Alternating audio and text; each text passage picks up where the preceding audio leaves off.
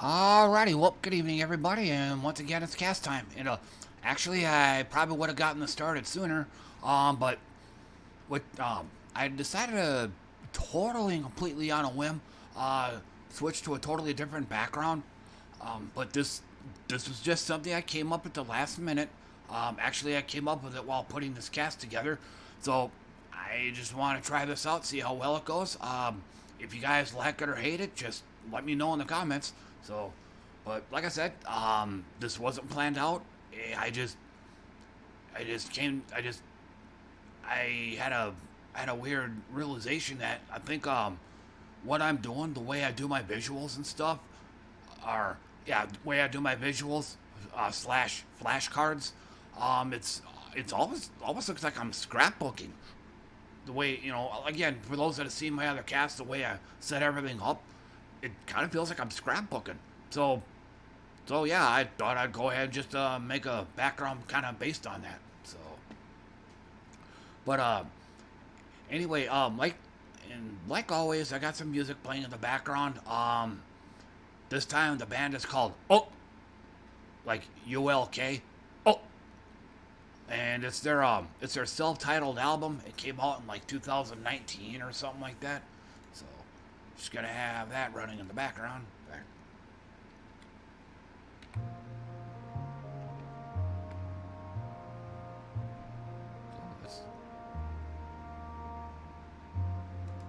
So let's, get her underway.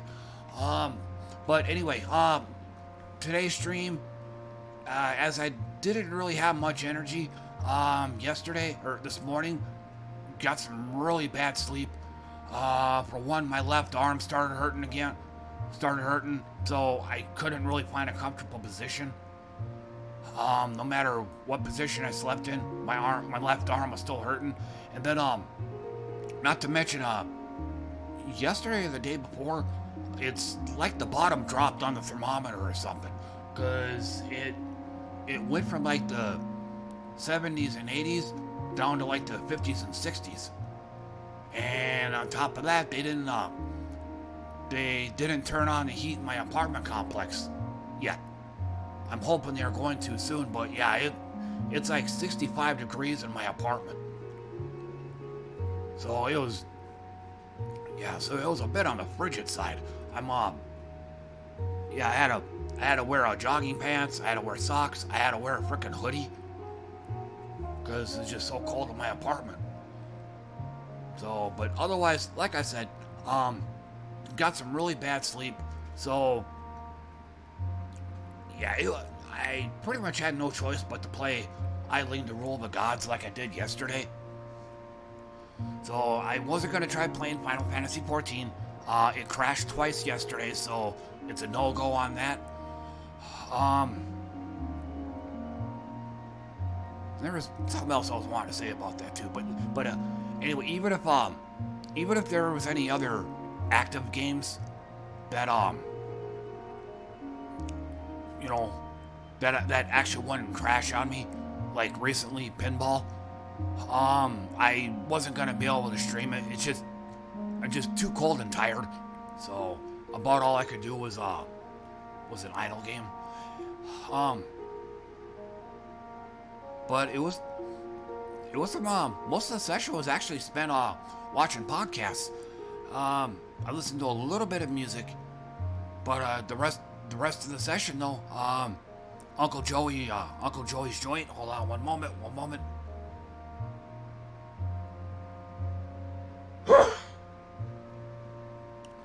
okay, pardon the interruption. Um, anyway, but um, watched uh, Uncle Joey's joint for about an hour. Um, then um, and then uh, one of my YouTube recommendations popped up. Uh, it was a it was an earlier episode of um, I think uh his early podcast, The Church of What's Happening Now. But it was a video that came out like five years ago. Uh, it had Henry Rollins, one of the you know one of the biggest influences of my life. Um, he was on he was on the program, so I fired him up and watched that for about an hour, hour and a half. So doing some podcasting. And I guess while I'm here, I'm gonna, and I currently have a game going on right as we speak. So let me uh, let me uh, tweak this real fast.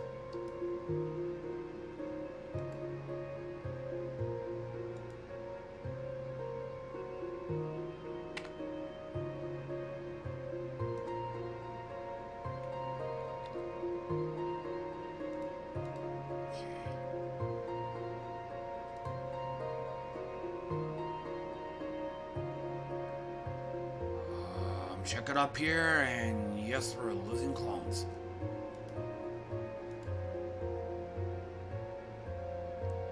I can't, I can't lose any clones, because, because fast, because I'm gonna be focusing solely on creating elements. It's kind of like I said in yesterday's video. Um, Oh, and uh, while I'm here, something else I totally forgot to mention too. Um, unlike a lot of other games that have this kind of mechanic where you have where uh, where there's crafting, where you can you know, craft items. Um, unlike other games, if you wanted to create, say, if I wanted to create, say, animal, most other games, if you click, you know, create it, and if you didn't have the resources for it, it would just say, unable to create, no resources. Build more resources, you know, click, can't create, click, you know, it would just keep saying no and no and no and no and no. In this game here, you can do it. You know, so I, I just clicked animal, and what it's going to do, see, since animal, if uh, 15 water, 9 plant, 3 fish, but it what's what's doing now? It's gonna go through and make all those resources that I need to make a to make an animal. So yeah, this is, this is a big time quality of life awesome right here. Because it also means I don't have to, I don't have to be, I don't have to whip out the calculator and calculate exactly, you know, how many how many water I need, then I have to multiply that because you need three air to create one water, and you know, it uh, it spares me a, spares me this logistical nightmare. I could just go right down here and just click animal, and the game will automatically start making all the resources I need. So yeah, big quality of life improvement. But but as as I don't need animal, I'll just go back here and click soil and it's gonna convert it's gonna convert convert all this stone I was making into soil. Not even close to getting a rebirth. So oh.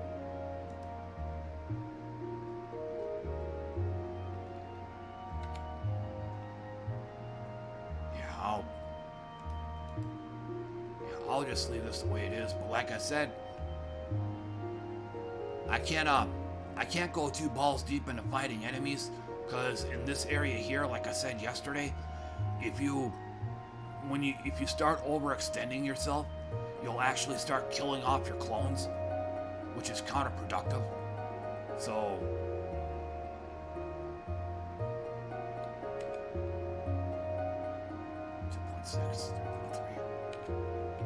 And then I totally forgot about this. Um, You can build monuments. They uh, increase uh, your appropriate multiplier. Like this is going to increase my physical multiplier. It's going to increase my attack power. Now, Mystic Garden, I won't... I need a lot of water and a lot of plants, so I'm not even going to think about this one here.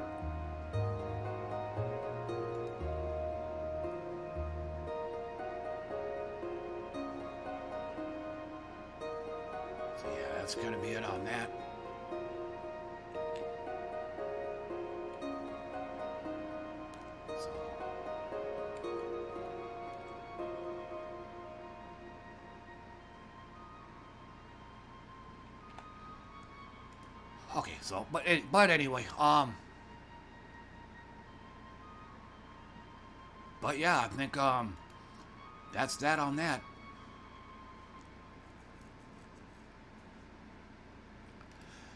And then also, um, I did manage to do some pinball today.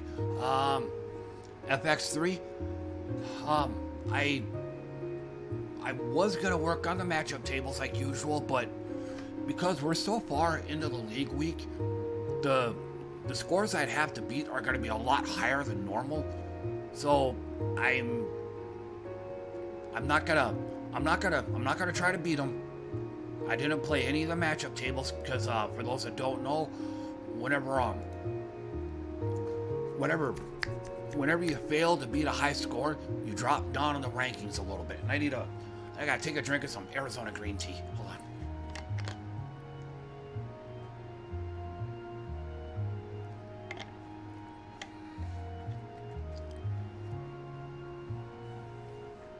So anyway, um, but yeah, I didn't I didn't do any matchup tables. I'm at a I think I'm I'm stable enough. I'm far enough into the blue to where um I should be I should be able to maintain my place this week. I don't have to worry about dropping down to silver two or anything. I'm at silver one rating right now. So uh, but one thing one thing I did do, I did um I also did a tournament did a tournament and like yesterday, I won it. So it was another this it was the um Avengers table. Kind of hard to kind of hard to explain because I don't have the game like right in front of me. Um, but it's it's kind of a tough table because if the ball drains, you're gonna have to wait at least you got to wait about 10 seconds or so to get another ball. There's this little there's this little animation song and dance that the table does before launching the ball, before plunging it.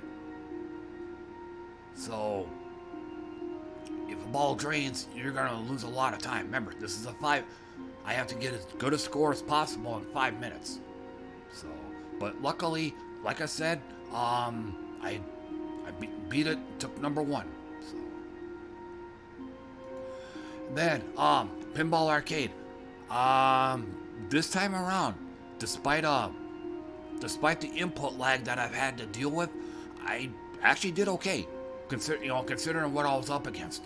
Because like I said, the input lag was pretty bad, and uh, and and I ended up ha- ended up blowing a fair amount of shots because input lag would kick in at most at the most in, at the most inopportune time.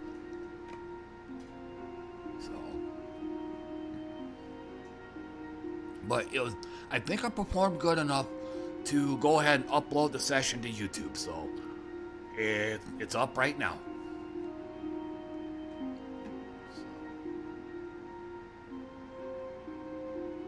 I think there was something else I was wanting to say about that too.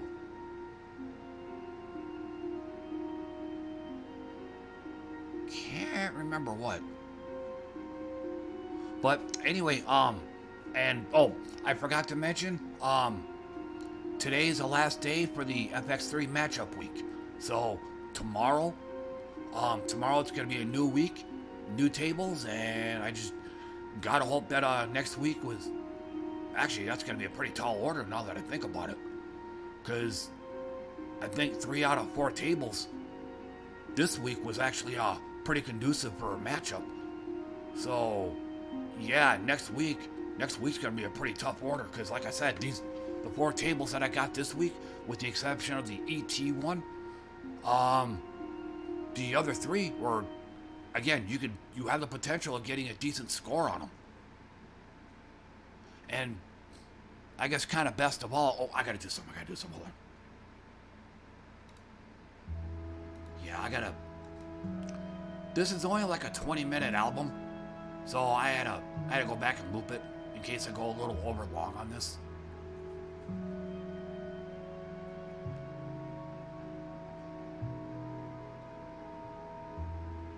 So yeah, I just gotta hope that the uh, that next week's tables aren't gonna be too bad. Yeah, because there's some pretty rough. There's they uh, they put up some pretty rough tables here over the years that I've been playing FX3.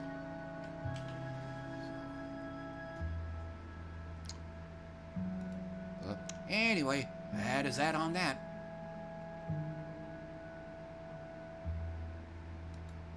And then um, one other one other thing too. Um, one of my favorite YouTube channels, Alpha Beta Gamer. They he posted up a new game. It was like a, a hybrid between Dark Souls. Played it, not a fan of it. Um, and then uh, another game called The Stanley Parable.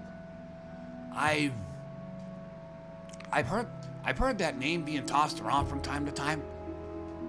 Um, never, and the the name actually did kind of sound familiar. I I want to say I've seen it before, so I just just went ahead and uh, watched a watched a gameplay run through of that game, and I'm like, holy shit!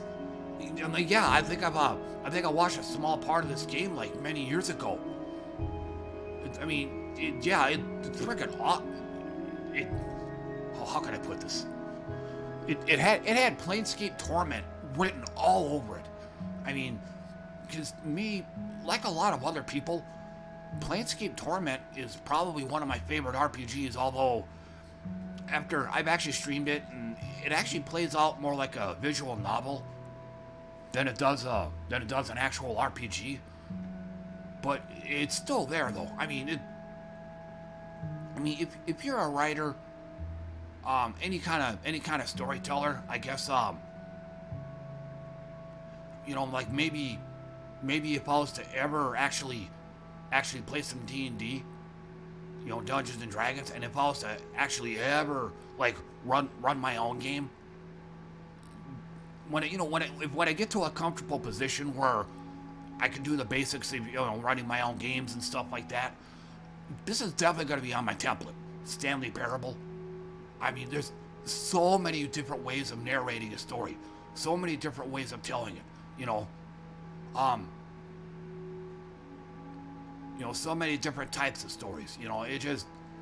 But I, I think if you're a writer, filmmaker, you know, filmmaker, screenwriter, um, author, you know, you know, etc. You know, any anything along those lines. You know, creating any kind of literature.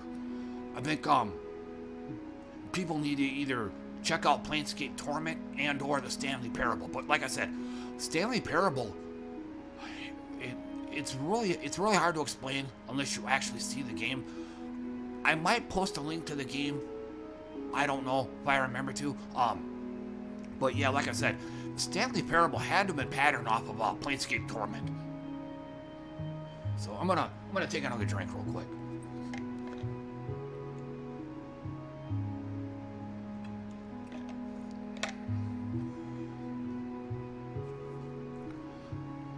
So, and, and also now that I think about it, since these days, since I've pretty much been streaming uh, nothing but idle games, I might give Planescape Torment another go.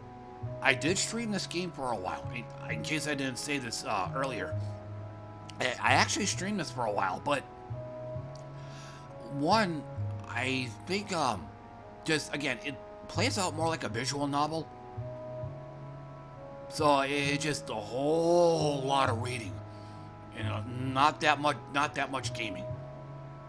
And then, and then, and then it, um, for for the actual, for the moments where there's actual gaming, um, I think combat slowed to a crawl because,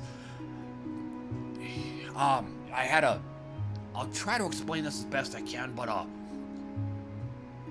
you um you can you can set aspects of that game to auto pause to where it automatically pauses like say whenever whenever you're about to cast a spell whenever your opponent is about to cast a spell um, whenever you deal damage and actually hit your opponent or when your opponent hits you so you can um you can set the game to auto pause to automatically pause whenever these or any other multitudes of events occur. Um, when I streamed it, I I think I had the game set to auto pause whenever whenever any one of my party members took took damage. Um, I also had it to auto pause whenever I think whenever anybody cast a spell, so I could actually I can actually read the text. I can read the spell, what's being cast, and who it's being cast on. But basically, it, it it's it, when I play it, it slows to a crawl. Cause like I said, I read everything. So this, and I think um, I think people are actually leaving leaving my stream because of it. It just, you know, again, a lot of reading and a lot of a lot of reading and a lot of watching and a lot of analyzing and stuff like that. A lot of strat, a lot of strategizing. So it's just way too slow paced for most people. But now, again, since um, the con, uh, to, you know, the recent context, due to, due to the recent context, you know, me playing mostly idle games, might as well just give Planescape Torment another go now. Because, like I said, as it is, most of what I'm playing now are idle games. So, may just as well go ahead and uh, go ahead and uh, give Torment another go. But oh, and um, also that's another thing too. I think another reason why why I ended up having to quit streaming that game is because uh, I was fairly liberal with cheats.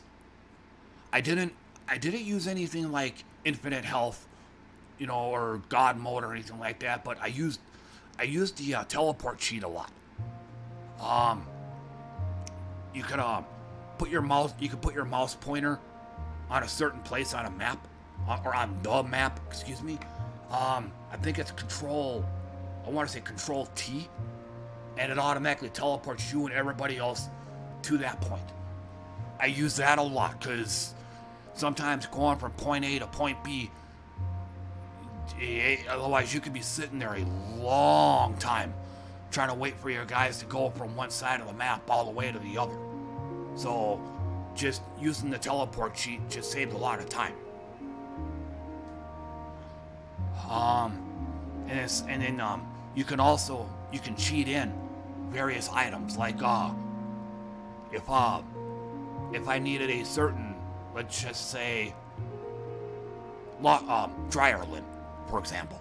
If I needed dryer lint in order to open this portal to get to the next area, but I have no idea where to get it.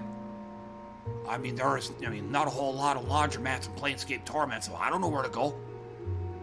So, time to head to the cheat, mate. Time to head to my browser, go on, you know, Google Planescape Torment Laundry Lint or Dryer Lint. Type that down. Oh, okay, here's the cheat code to add that to your inventory. You know, there we go. I got dryer lint in my inventory. Now I can proceed. So it cheating in the items is going to be a hell of a lot faster than trying to go on a strategy guide and getting what you need and saying, oh, you had to complete this quest and that quest and the other quest. And then at the end of that, or at the end of that quest, you'll get dryer lint. And then now you can, you know, you go through all the, jump through all the hoops to get the dryer lint, then you can go open the portal and proceed. So it's a lot faster to just cheat the item in. And again, it it might seem I'm skipping a whole shit ton of stuff, but on the on the other side too, I'm also again, I'm also reading everything. But again, all this all this combined, um, again, I think people were leaving my stream because of this. So when it got to where it was practically a ghost town on my stream, uh, yeah, I I pretty much stopped streaming it at that point. But sorry to sound like a broken record, um, but since all I've been pretty much been uh, streaming these days are idle games, well, I as well fire up Planescape Torment. So yeah, um, uh, so yeah, um, starting tomorrow, unless I change my mind at the last minute, yeah, I think I'll um, I'll stream some uh, Planescape Torment. Of course, that also assumes that the game don't crash on my computer, so I might do a, I might do a quickie dicky test run off stream just to, just to see if it actually works. But yeah. But again, um, barring incident, tomorrow, tomorrow, um, look for me to stream Planescape Torment.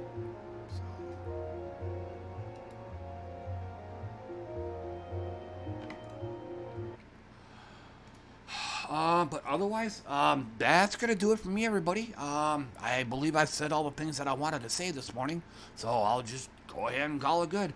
Uh, but, and um, I hope, and again, if you, again, this is the background is something I came up with just completely on a whim at the last minute while actually putting this cast together. So if you guys like it or hate it, um, let me know in the comments. I don't. I might continue using this. Uh, I might not. I don't know. So we'll see you come tomorrow. So, but otherwise, hey, thanks for uh, tuning in and listening to me, everybody. I appreciate that. Always do. And then um, I should be able to do another one of these tomorrow. So, but until then, thanks again for coming by, everybody, and I'll see you all next time.